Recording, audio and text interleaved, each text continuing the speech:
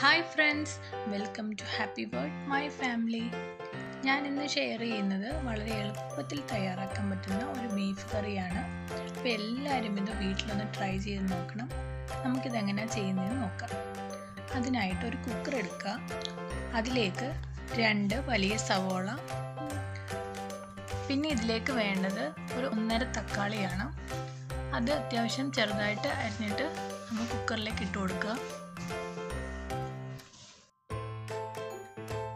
ഇനി വേണ്ടത് ഇഞ്ചി വെളുത്തുള്ളി പേസ്റ്റാണ് ഞാൻ ഒരു മുക്കാൽ ഒരു ചെറിയൊരു പീസ് വെളുത്തുള്ളിയാണ് എടുത്തിരിക്കുന്നത്. അതും ഒരു ചെറിയ കഷ്ണം ഇഞ്ചിയും ചതച്ചതാണ്. പച്ചമുളകും ചേർത്ത് ചതച്ചു.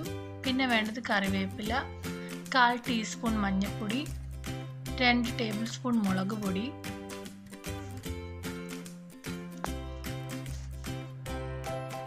രണ്ട് ടേബിൾ സ്പൂൺ മല്ലിപ്പൊടി.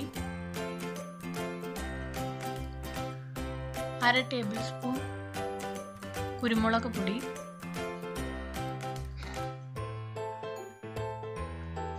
അര ടീസ്പൂൺ ഗരം മസാല. പിന്നെ ഞാൻ ഇതിലേക്ക് ചേർക്കുന്നത് ഒരു കാൽ ടീസ്പൂണ് കറുവാപ്പട്ടയാണ് ചേർക്കുന്നത്. ആവശ്യത്തിനുള്ള ഉപ്പും ചേർത്ത് കൈ കൊണ്ട് നന്നായിട്ടൊന്ന് തിരുമ്മി കൊടുക്കണം. എത്രമാത്രം നമുക്ക് നന്നായിട്ടൊന്ന് തിരുമാവോ അത്രയും നല്ലതാണ്. സവോളയും അതുപോലെ തക്കാളിയും എല്ലാം നന്നായിട്ടൊന്ന് ഉടഞ്ഞു വരുന്ന രീതിയിൽ ഒന്ന് മിക്സ് ചെയ്തെടുക്കുക. ഇനി ഇതിലേക്ക് നമ്മൾ കഴുകി വെച്ചിരിക്കുന്ന ബീഫ് അര കിലോ ആണ് അത് ഇതിലേക്ക് ചേർത്ത് കൊടുക്കണം. അര കിലോ ബീഫാണ് ഞാനിവിടെ എടുത്തിരിക്കുന്നത്.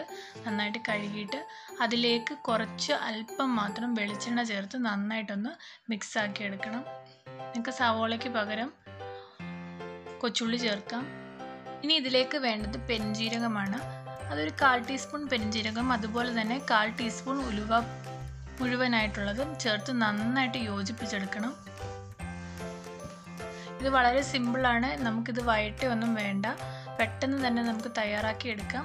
നല്ലപോലെ മസാല ഈ ബീഫിനകത്ത് പിടിക്കുന്ന പോലെ നല്ലതായിട്ടൊന്ന് മിക്സ് ചെയ്ത് കൊടുക്കണം. അത്രയാണ് ഇതിനകത്ത് മെയിനായിട്ട് ചെയ്യേണ്ടതുള്ളൂ. ഇനി ഇതിലേക്ക് ഞാൻ ഒരു ഗ്ലാസ് നല്ല ചൂടുവെള്ളം ചേർത്ത് കൊടുക്കുന്നുണ്ട്.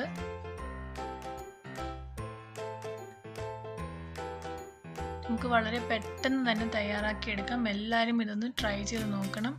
അതുപോലെ തന്നെ നിങ്ങൾ ട്രൈ ചെയ്തിട്ട് കമൻസ് അറിയിക്കുകയും വേണം. വീഡിയോ കണ്ടുകൊണ്ടിരിക്കുന്ന ആരെങ്കിലും സബ്സ്ക്രൈബ് ചെയ്യാതെയാണ് കാണുന്നതെങ്കിൽ ഒന്ന് സബ്സ്ക്രൈബ് ചെയ്യണം. അതുപോലെ തന്നെ ആ തൊട്ടടുത്ത് കാണുന്ന ബെല്ലൈക്കണും കൂടി ഒന്ന് പ്രസ് ചെയ്യാൻ മറക്കരുത്. അപ്പോൾ വെള്ളം ചേർത്ത് നന്നായിട്ട് മിക്സ് ചെയ്യുക. ഇനി കുക്കർ അടച്ചു വെച്ച് വേവിക്കണം. ഓരോ ബീഫിനും വിസിൽ വ്യത്യാസം വരും. എന്നാലും ഞാനൊരു മൂന്ന് വിസിലാണിത് എടുക്കുന്നത്. ഇനി ഒരു പാൻ എടുക്കുക. അതിലേക്ക് വെളിച്ചെണ്ണ ഒഴിച്ചു കടുക് പൊട്ടിച്ചു. ഇനി ഇതിലേക്ക് കുറച്ച് കൊച്ചുള്ളിയും അതുപോലെ തന്നെ വറ്റൽ മുളകും കറിവേപ്പിലയും ഇട്ട് നന്നായിട്ടൊന്ന് വഴറ്റി കൊടുക്കുക.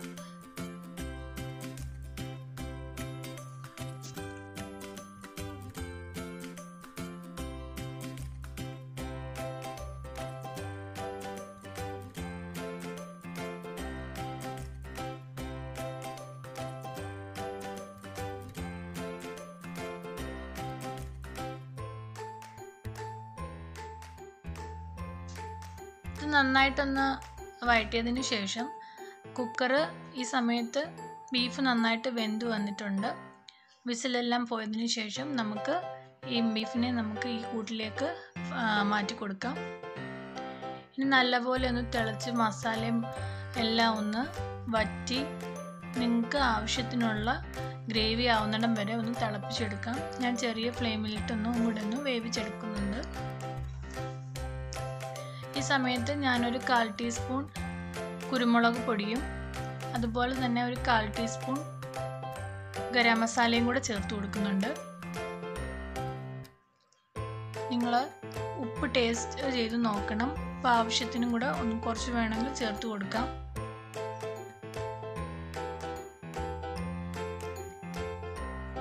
അപ്പോൾ ഇത് വളരെ എളുപ്പമാണ് തയ്യാറാക്കാൻ. എല്ലാവരും തന്നെ ഒന്ന് ചെയ്ത് നോക്കണം. ഫീഡ്ബാക്ക്സ് അറിയിക്കണം.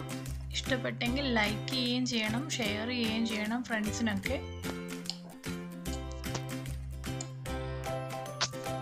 കുറച്ച് സമയം കൂടെ അടച്ചു വെച്ച് ഇതൊന്ന് വേവിച്ചെടുക്കാം.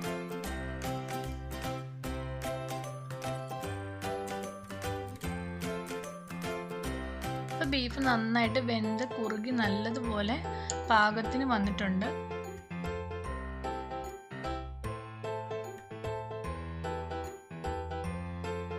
ബീഫ് കറിയുടെ മെയിൻ കോമ്പിനേഷനാണ് പൊറോട്ട. പൊറോട്ടയുടെ കൂടെയാണ് ഞാൻ ഇന്ന് ഈ ബീഫ് കറി കഴിക്കുന്നത്. അപ്പോൾ എല്ലാവരും ഇതൊന്ന് ട്രൈ ചെയ്ത് നോക്കണം. അപ്പോൾ എല്ലാവരും കണ്ടുകൊണ്ടിരിക്കുന്ന എല്ലാവർക്കും ഇതൊന്ന് ട്രൈ ചെയ്യണമെന്ന് തോന്നുന്നുണ്ടാവും അല്ലേ അപ്പോൾ എല്ലാവരും വീട്ടിൽ ഇതുപോലെ തന്നെ ട്രൈ ചെയ്ത് നോക്കുക. അതുപോലെ ഫീഡ്ബാക്ക്സ് അറിയിക്കണം. അടുത്ത നല്ലൊരു വീഡിയോ ആയിട്ട് വരാം. അതുവരെ താങ്ക്സ് ഫോർ വാച്ചിങ്